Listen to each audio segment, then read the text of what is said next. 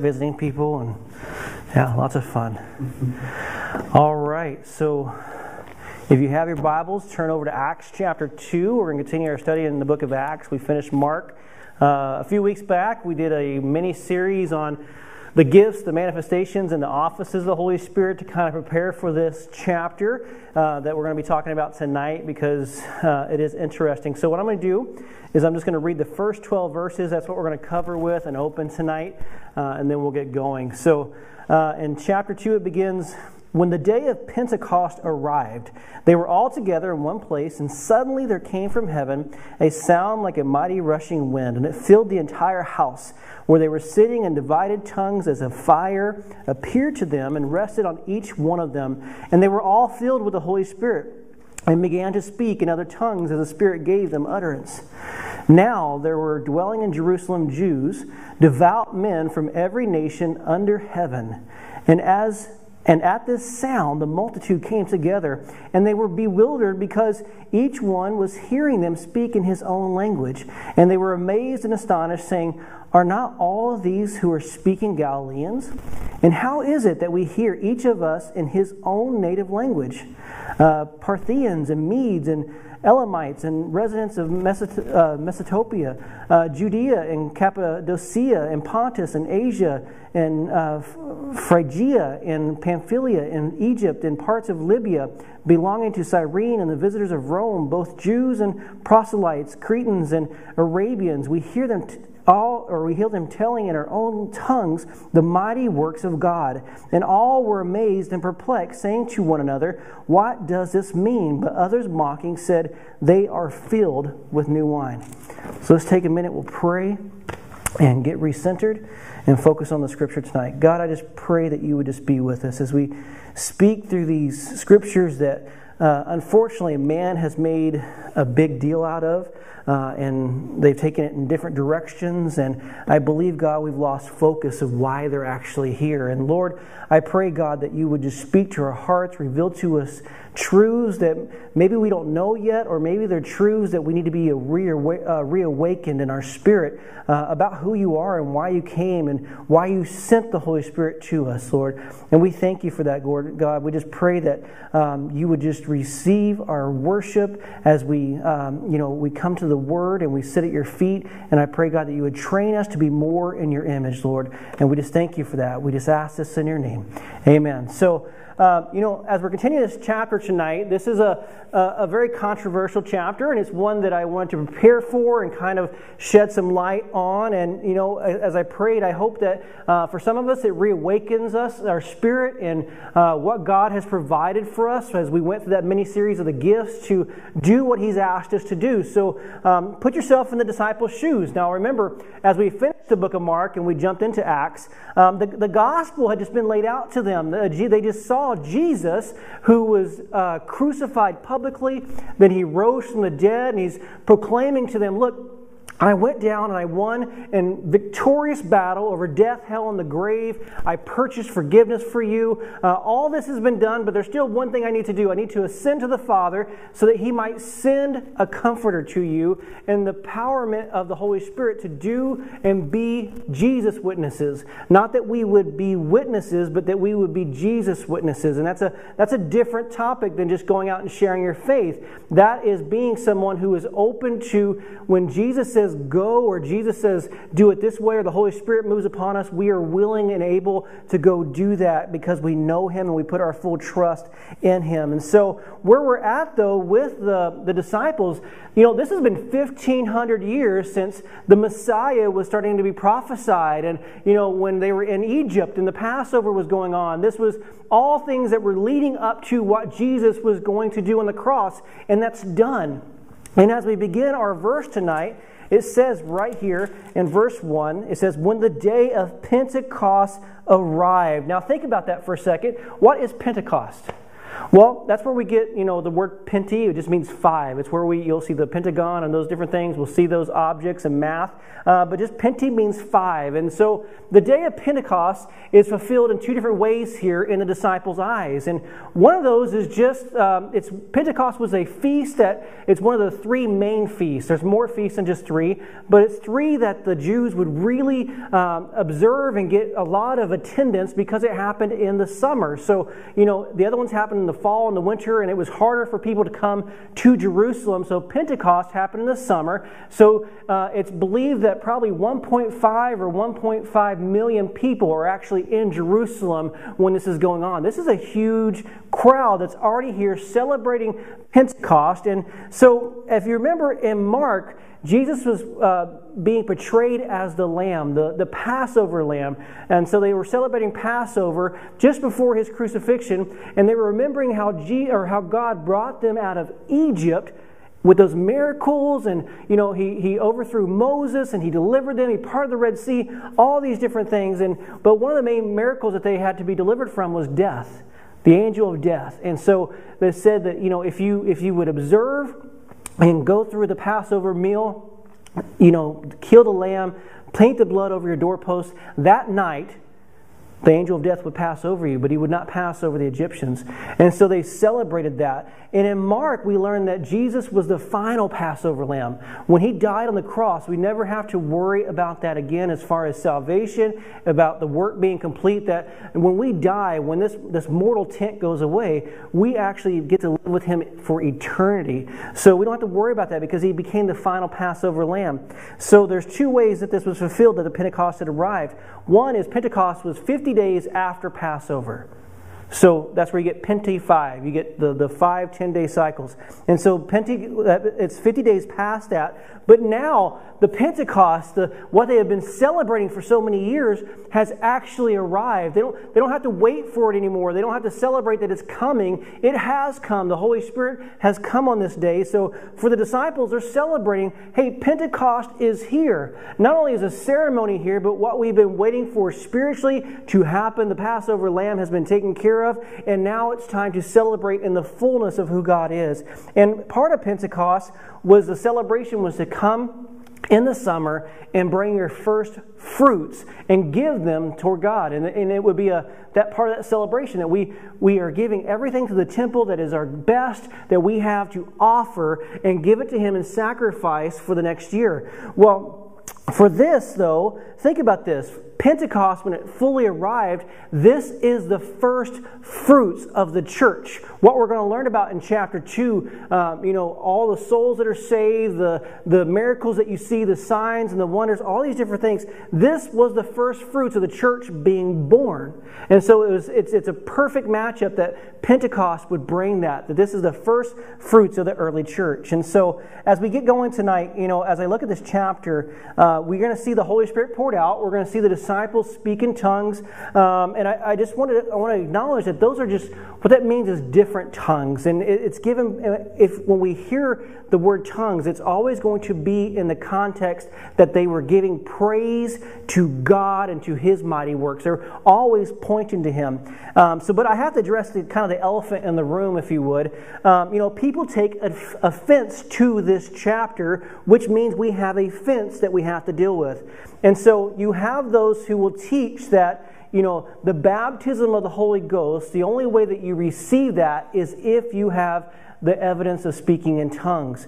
Well, for me, I don't lean that way. Now, I do want to share this. I have the gift of tongues. I pray in tongues. I speak in tongues. And so I don't do that you, you, may not even seen that so far uh, in our ministry, and there's reasons why. I'll teach about that here in just a minute.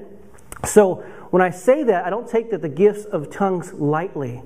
But I'm also not on the other side of the fence where they say, you know, the gifts were done away with, and they'll take 1 Corinthians 13 out of context and they'll say, hey, that's all been fulfilled because we have love now. No, there are specific gifts, and we learned about that in the mini series, that need to be in operation for the, uh, the edification and the building of the church and for winning souls. And this is one of the things that happened here in Acts chapter 2 was this sign happened when the Holy Spirit came. So um, let's read on here just a little bit again. So in these verses, we're going to see a couple different things uh, happening. So let's look at verse 2. And suddenly there came from heaven a sound like a mighty rushing wind, and it filled the entire house where they were sitting. So Think about this. It would not take much to draw a crowd at this time because Jerusalem is packed. Jerusalem is not a huge city. Uh, it's only a couple miles by a couple miles. So you would have people just on top of each other. It'd be like Times Square when the balls dropped and you just, you know, you can't walk, cars can't go by because there's no room for anybody else. And then all of a sudden they hear this mighty rushing wind. And it's kind of like, uh, from what I understand of the Greek word here, it'd be something like a tornado or a hurricane force wind. They can hear that. And so they are running to the source of where this sound is coming from for them. And they're like, what in the world is going on? We're here celebrating. We've never heard of anything like this. Think about this. They're in the desert. You don't get tornadoes and hurricanes in the desert, do you? You get some windstorms and things. So this this would be something that would not be typically heard. So again, it wouldn't be hard, but God gets the attention of thousands of people in the middle of Pentecost to come over here and see what's going on. These 120 believers that we read about in chapter 1 who've been waiting since Jesus ascended for this moment. And God gets their attention. He brings it to their attention. He goes on to verse 3 and says, And divided tongues as of fire appeared to them and rested on each one of them. So um, think about this for a second. As they appear and they come around the corner, I don't know, um, my mind starts putting myself in the context of Scripture. So they're in an upper room. I don't know if it's like right next to a big Times Square kind of feel where they could just come out of the room or, you know, if some of them went up into the room and saw. But whatever happened when they heard this, they come rushing. They see the disciples. And on top of their heads, they have like this flame that is bouncing back and forth. And as we get into Christmas, you know, a lot of us are going to be around a, a fireplace at some point. This, you know, if we're not even there just because it's cold and freezing the last few weeks. Uh, but I would urge you next time you're looking at the fire, look at the tips of the flame. Does it not look like a tongue just kind of bouncing back and forth? It's moving at all times. And so this is the imagery that we're seeing here with the disciples. There is something that's. Um, you know, profound to look upon and see. And they're having this experience. And, you know, everybody says, you know, we have to have this, this experience with God in order to move forward. Now, think about, they've already been walking with Jesus for how many years? Three, three and a half years, right? They have seen people raised from the dead. They've seen the blind restored, the sight given back to them. Um, you know, they've seen demons cast out. They've seen all these miraculous things. Did the experiences ever change the disciples, or are we coming off one of the biggest blunders of the disciples over the last 50 days? Why? Because when the cross happened, when, when the rubber met the road, they turned their backs on Jesus. They forsaked the ministry. They messed up horribly.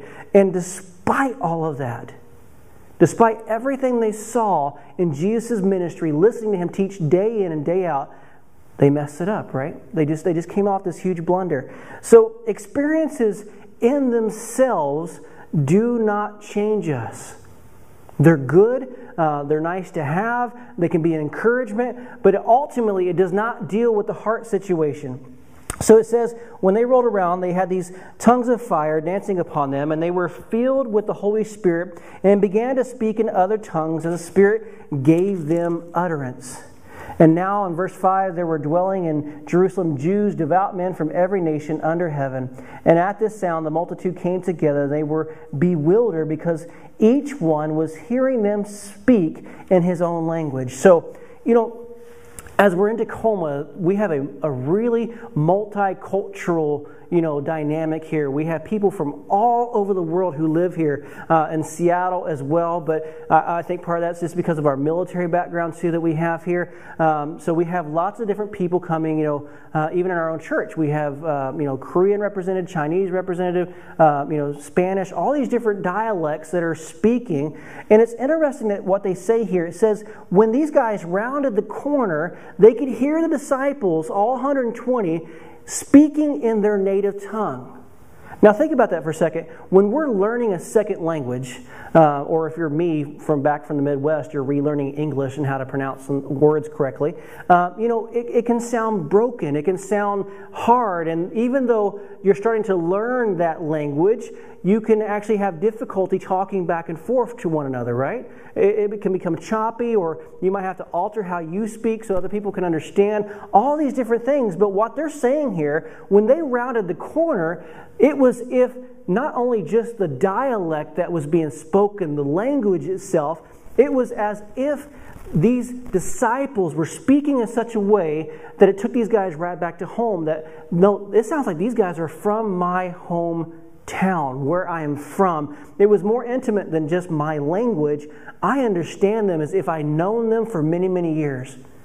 So that must have been really just something to come around and think about they're dealing with the marketplace, uh, as we'll see here in just a minute. There's different languages being spoken. They're, uh, you know, they're buying, they're selling, they're trading, all these different things. So all this week of celebrating Pentecost, it, it must have been, hey, this is this is different. Wait a minute, I'm hearing all these guys speak in my native tongue, just like if I was home again, uh, and God is just pouring out in this way. And at the sound, it says in verse 7 And they were amazed and astonished, saying, Are not all these who are speaking Galileans? So again, they recognized that, hey, wait a minute, I know some of these guys. I know them. And yet, even though I know them, I know where they grew up, I know their background, they are still speaking something so miraculous. They know exactly as if they had lived with me for many years. But wait a minute, I know them. They're, they did not live with me. In verse 8, he goes on to say, And how is it that we hear each of us in our own native language? And he goes on, and we have 14 different um, you know, nationalities represented here, but this is only a small portion of all those that were at Pentecost. And so, you know, we get a small little glimpse here uh, of all these nationalities. But it says in verse 11, uh, both Jews and proselytes, Cretans and Arabians, we hear them telling in our own tongues the mighty works of God. And so I find this interesting that God would use language in this way. Um, and so, if you remember back in Exodus, when, or, or not, I'm sorry, Genesis chapter 11, when the Tower of Babel was going on, and all the nations had come together. They had one unified language, and they built a city. And in the middle of that city, they built a tower. And it says that they became so prideful, they said, We are going to build a tower that will reach into heaven. And that, that's, a, that's a great story of religion right there that, hey, wait a minute, I can make it into heaven on my own. I don't need God. I'm going to build a street that takes me there underneath my own power and own strength. And it says that God looked down upon them in, in Genesis chapter 11 and said, hey, we, being the Trinity, we need to do something about this. And so what they did, the Trinity, uh, or God, the Father just said, you know, we're going to go down and we're going to divide them. Because if we don't, man has become such a powerful force with the way that I have created them. Remember, we are created in the likeness of God. So the, the, the intellect of man, uh, the ingenuity of man, at that point, under a unified language, unfortunately, all their focus was on selfishness and getting away from God and going around God. That as a unified front, he said, if we don't put a stop to this, there's nothing that man can't do. And what he meant by that is there's nothing that man can't do to skirt me. And so I've got to put a stop to this. I've got to divide them. And so when he came down, he divided them into different languages. He gave, he gave them all different languages. And think about that for a second. If you're, if you're working on a structure and you're like, hey, um, I need this brick. Can you give this to me? And you're like, okay, yeah, here's the brick. And, you know, I need a 16 penny nail or whatever it is, or I need this steel beam. And they're, they're just passing back and forth and they're working on it. And one moment and the next moment, you know, they're starting to say in, you know, in Chinese they're speaking, or, you know, the language which we know today, or in Japanese or Korean or German or Russian. Uh, they start just speaking back and forth. How, how bewildering that must have been at that point. It just separated them because at one point they were unified on one language, but now they're not. And so here, to reestablish the church, to reestablish what Jesus said look, I am the only way, the truth, and the life. He brings language back in. And so we'll see out throughout the whole book of, or the whole chapter, there's two different types of languages that we're going to look at here. And so, two of them, when it says tongues and languages, it's the Greek words that are talking about um, dialect is one, and the other one is glossary. So that's where we get those words. And so when you think about this, uh, one is talking about glossary, where we get the definitions of words, and one is dialect of how we articulate, and they go back and forth. They're interchangeable between tongues and languages, and it keeps going back and forth that way. And so the importance to understand of what this is actually doing is um, God is giving through the Holy Spirit the definitions and the language to actually speak here. Um, and so when we look at this, um, so the two Greek words, uh, glossia and dialectus, uh, is what it's talking about. I want to point this out. They're they're the same, and they share this to keep. I share this to keep this event simple and not to read more into it or less into it uh, of what's happening. So each of us in his own native language. Um, so often, you know, when we're learning that language, that's the barrier. And so, you know, even in the the type of communication I've had with certain individuals this week, um, communication has been an issue. Even just speaking English has been difficult.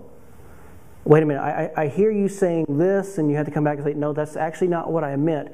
Let me try it again. And, and, you know, it can be difficult to have that relationship. So, what's different? There's two different things about this language uh, that they're speaking here. And one of them is, you know, um, I was hearing a, a, good teaching this week on angels, um, and I don't want to get off the topic, but I think it's a good illustration of what we're talking about here. And so, do you remember in Isaiah there's the cherubims, and it says, you know, when they were in the presence of God, they had to cover their feet and they had to cover their eyes. And so, w- we know that angels, though, they don't have physical eyes like we do. So when we look at an event like this, we see it in you know our normal physical dimension. We, we see it in a, such a way uh, that we understand it and we can look upon it. And, w- and with all of our intelligence, all of our understanding, we see it only in the way that our physical eyes and ears will let us hear. But the angels don't see things like that that way. Um, when you think of an angel serving the Lord in the temple, like the cherubims. And he says, you know, I, I, he had to cover his eyes. It wasn't because his physical eyes could not handle the glory of God. So when angels are looking, it's much like God. It's, it's, an, it's rather, um, to translate that, it would be more of an understanding. So the way that the angel looked upon God and understood him when God revealed himself and his glory and his majesty, and he, he presented all himself in the temple, the angel could not even look upon him.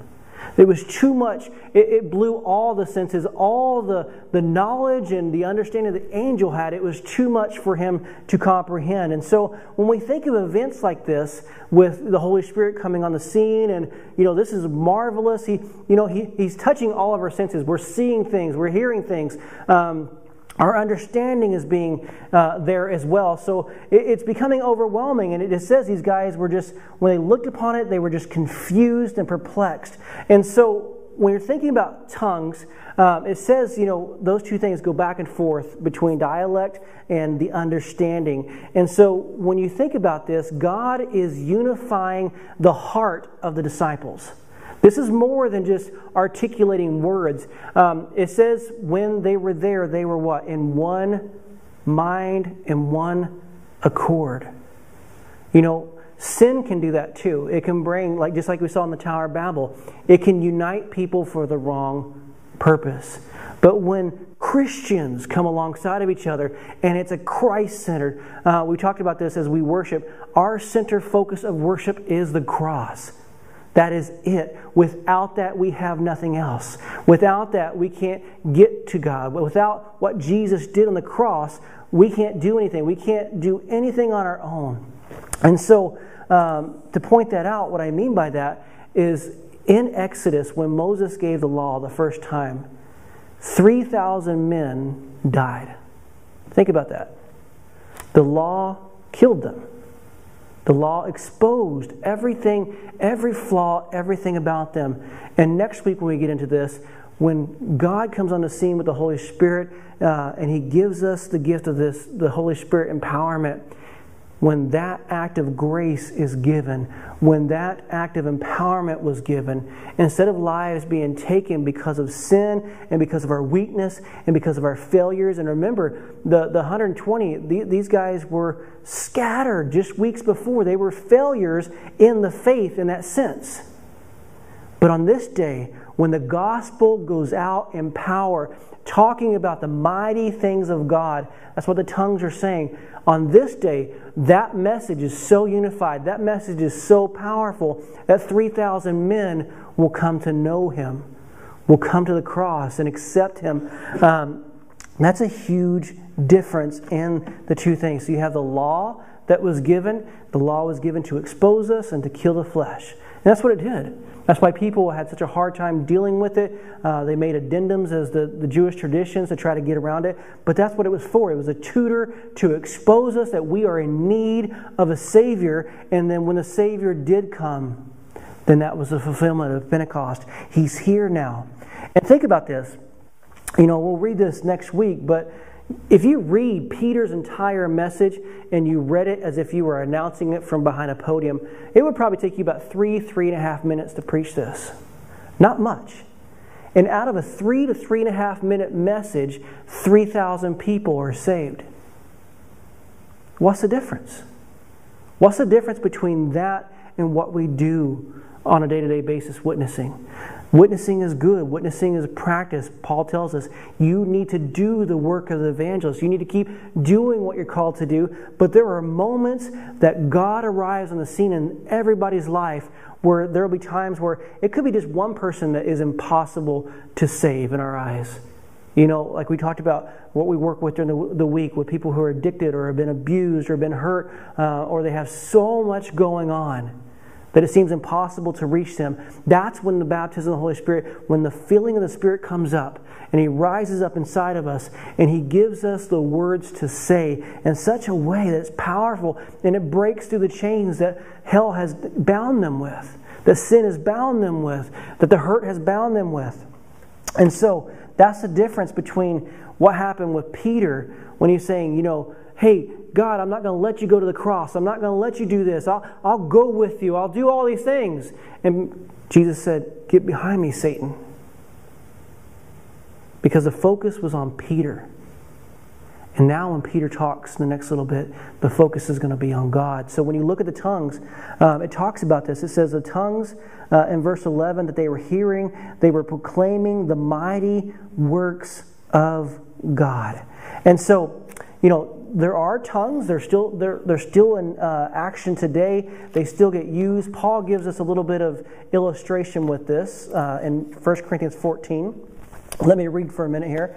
It says, "There are doubtless many different languages in the world, and none is without meaning. But if you do not know the meaning of the language, I will be a foreigner to the speaker, and the speaker a foreigner to me. So with yourselves." Since you are eager for manifestations of the Spirit, that's a good thing. It's good to, to be excited about God moving. Strive to excel in building up the church. Therefore, one who speaks in a tongue should pray that he might interpret, or that he may be interpreted. For if I pray in a tongue, my spirit prays, but my mind is unfruitful. What am I to do? I will pray with my spirit, but I will pray with my mind also. What then, brothers, when you come together, each one has a hymn, a lesson, a revelation, a tongue, or interpretation. Let all things be done for building up. If any speak in a tongue, let there be only two or most three, and in each turn, and let them and let someone interpret. But if there is no one to interpret, let each of them keep silent in church and speak to himself and to God. That's really important. What's tongue's focus? It's between the person and God. And he goes on to say, Pursue love and earnestly desire the spiritual gifts, especially that you may prophesy. For you for one who speaks in a tongue speaks not to men, but to God. For no one understands him, but he utters mysteries in the spirit. On the other hand, the one who prophesies speaks to people for their upbuilding and encouragement and consultation. The one who speaks in a tongue builds up himself, but the one who prophesies builds up the church. Now I want you all to speak in tongues, but even more to prophesy. The one who prophesies is greater than the one who speaks in tongues, unless someone interprets, so that the church may be built up. Now, this is a phenomenon that's going on here in Acts chapter 2 that we don't see very, very much in Scripture, but the Holy Spirit actually becomes the interpreter. What he's given was a message for each and every person to hear. And so, you know, you will hear individuals, they'll be preaching, uh, or they could be just talking, and they just speak in tongues randomly.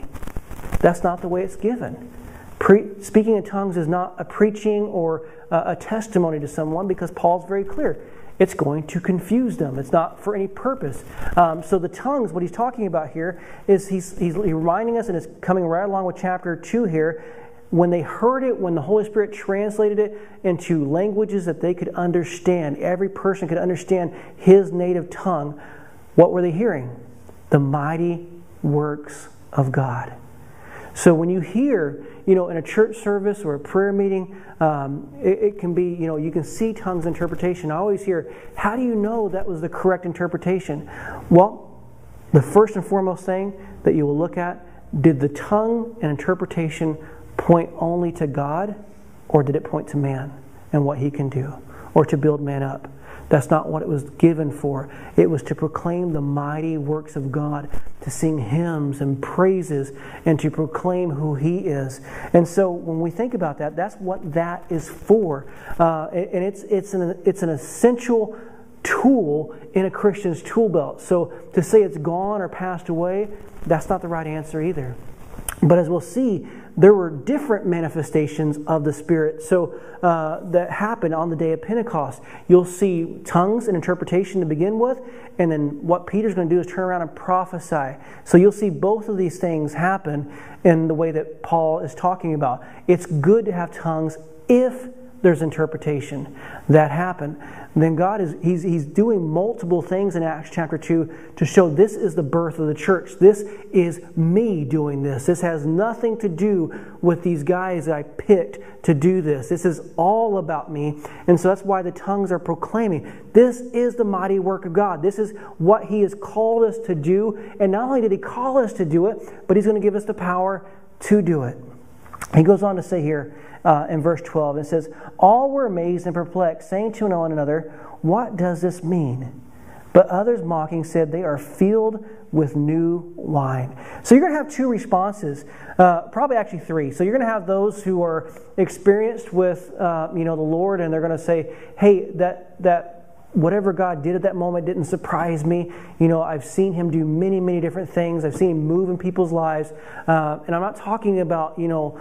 Um, you know, the outlandish portions where, you know, you're rolling on the floor and those crazy things. Um, what, what were the disciples doing when this happened? Just like we were. We were sitting. They weren't working anything up. They weren't trying to do anything. The Holy Spirit came upon them while their heart and their mind was simply focused on Him. So you'll have individuals who have had experiences the Lord, and you're like, that was God. That didn't surprise me. That praise the Lord for what happened. But then you'll have those who will have two different responses. It says, you know, some of them questioned, and it's okay to question. Uh, it's okay to say, hey, what was that? I've never experienced that, or, uh, you know, I've never seen that happen, or, you know, why in the world did you come to a street corner, you know, at 11 o'clock at night uh, to tell me that Jesus loves me? Could be something as simple as that. And they just don't understand it. It's okay to question. Those are the ones who are looking, hey, what is this? What does this mean? And there's your end. But then you also have those who will mock. And that's where we get hit, you know, in our Americanized culture today. You know, when we're, when we're not Christians, what do we do? We proclaim our lifestyle. This is what I did last night. This is where I went last night. This is what I enjoyed doing last night. Or for sports fans, you know, this is, this is my team. This is what we do. Uh, you know, they're great. We, we herald them and we, we, we just tell everyone about it. Or for parents, you know, hey, this is our kids. They're wonderful. They're straight A students. Or, you know, they're good at this. Or, you know, this is my wife. Or this is my relationship. Or this is the car I purchased. We have no problem being bold like that, right? We have no problem pro- uh, proclaiming claiming that. But what happens is, as soon as we become Christians and we get the gift of the greatest news on earth that, hey, wait a minute, every person was in need of Jesus. Everyone has sinned and fallen short of the glory. There's no one that is above another. We are all in need of being at the foot of the cross and growing at His grace. We have that message, and what happens? We start to whisper about it. Yeah, I'm a Christian. Glad you asked me because I was afraid to tell you. Why is that? Because it boils down to, just like Peter, If you remember, he was in the courtyard when Jesus was being accused and, uh, by the Sanhedrin. And what happened? A little young girl in her teens and an elderly woman came to him and accused him of being a Christian. And what did he do? He denied him. So, what happened from a person who will deny Jesus to a teenage girl and an elderly woman and run away and curse at them for it, to now a man who's coming out of a room after waiting on the Lord, after being filled with the Spirit in such a way that he's going to stand before thousands. Think about this and proclaim this is what we all have been waiting for. That happened because the Holy Spirit came upon him. That happened because it's not about Peter, it's not about me, it's not about you. And I think it's what we get to well, what are they going to think about me? Because they know my past, they know who I am. Or, you know, I don't have the perfect words to say. That's getting into tradition and to religion and man made works. And it's losing trust in what God has called us to do. Did He say, go make disciples unless you can't articulate it well? Go make disciples unless you're too busy at work. Go make disciples unless you don't have a really good testimony. Did he say anything? Did he give us a clause or a way out of that? No, he said to go proclaim the gospel, make disciples, baptizing them, go to all the nations and do this under the pretense that this day, Pentecost, has already arrived. And that's good news for you and I today, 2,000 years later. The tools and the ability to win souls do not rely upon you and I. Our strength will never do it. All God is asking of these 120 that were up in the upper room praying is, I need you to be open and not be afraid of me moving, but when I do, allow me to move so that I can reach those that are impossible to reach. So they're the, the mockers that are there. So, you know, I could have went into a lot of Greek definitions. I could have went into a lot of different things. But I just simply, where we get away from this is, you know, man says, hey, we need to do it a certain way. You know, there's four times where the baptism of the Holy Spirit comes upon people in the book of Acts. The first one is here. And yes, yeah, speaking of tongues is part of that. And so there's a second one when Peter goes to Cornelius' house, the Gentiles. The Holy Spirit comes upon them. And he says uh, to all the Jews, hey, we can't tell the Gentiles they can't be saved because the Holy Spirit came upon them the exact same way he did for us. And then he found, again, another group of Jews uh, with Paul, and he lays hands on them, and they were just they were just disciples of John the Baptist. They didn't know, but they were still Jewish. They needed to understand uh, a certain aspect of the gospel. So when they received the baptism of the Holy Spirit, they spoke in tongues. The third time, now think about who Luke is. He's a physician. He's a documenter. Uh, if you read Luke and Acts, he does not leave things out. He puts them in there because he was hired and, and given the task to do so. And so when Luke is on the site of the fourth one, they receive the baptism of the Holy Spirit, but there's no tongues revealed in that scripture. Now, what was the difference? What were the Jews needing to overcome? The gifts are given to edify, to build the church, and part of that is maturing out of our sin and out of who we were into be more like Christ. So if you're Jewish and you've been told the last 1500 years, you are it, you're the nation, you are the chosen one of God. But then the Holy Spirit comes. And what happens? The gospel goes out in every single language known. It's not just for you guys, it's for everyone. And the Gentiles received it the exact same way.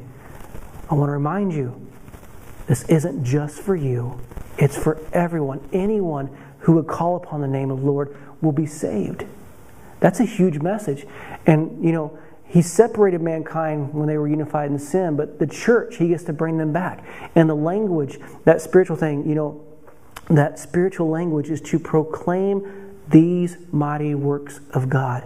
And if there's interpretation with it, that's going to uplift others. They're going to hear, like, oh, I, I, I, know what's going on. I heard it. I heard it proclaimed. But it's always going to point toward God. And all these other all these other ways that you hear men teaching this, you know, um, you got to do it a certain way or you got to you know proclaim it a certain way whatever it might be. That's man's interpretation of how man needs to do things. We cannot put god in a box. If we start doing that we, we not that we can limit god but in our minds we limit him. And we say god you can only move this direction. And he's such a gentleman. He won't overstep you but if you're in one mind one accord that god we're here to watch you fulfill the promise when you told Peter, hey, on this faith that God gave you to proclaim that I'm the Messiah, I'm going to build my church. I'm going to do it. When we have that, we can put that trust in Him. That's what they're proclaiming that we can do this. So, how do we just apply this, these first, you know, simple 12 verses in our lives? Um, you know, I was thinking about this. It says, uh, my notes here would be we need to create an atmosphere of anticipation and waiting upon the Lord. We need to say, Look, God, we don't want to do anything in our own power, our own strength. And we need to create the atmosphere that when He does move, we go without a shadow of a doubt.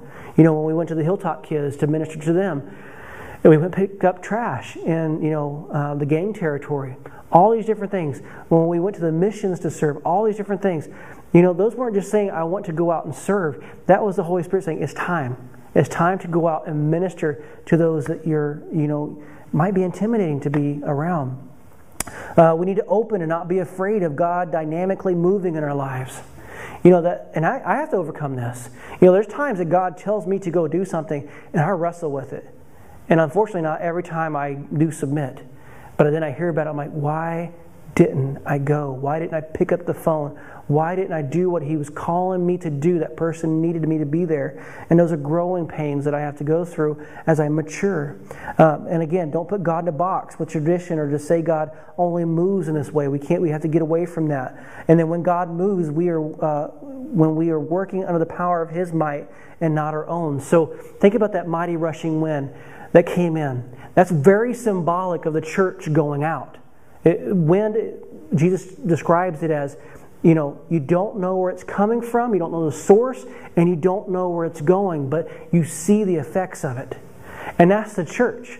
A lot of times, you know, it stays really silent, and all of a sudden God moves again. You see the fire and the flame of a burning Christian being motivated to move. And that's what the baptism of the Holy Spirit does, is it provides in such a way a Christian who's not complacent, who's not happy with sitting in a seat, who's not happy with just, you know, I'm just going to do this their desire, their passion. And I believe that's why the picture of the fire is there. That burning passion. You know, it talks about our burning passions for sin.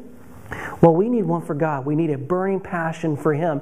And when the Holy Spirit comes upon us, it creates that burning passion to where we have to be living our life for Him. That's the difference. That's what happened with Peter. Wait a minute, this isn't about my reputation anymore as a disciple. This isn't about what I can do for Jesus. This is about what Jesus did for me. And I want to proclaim that. And I want to watch him do it in someone else's life. And it's not about my power, my might, but it's about his. All right, let's pray and we'll end another song and worship. God, we just thank you tonight for your word. We thank you for this has been an interesting two weeks. I've left my notes and just talked through scripture. Um, so, God, I don't know why.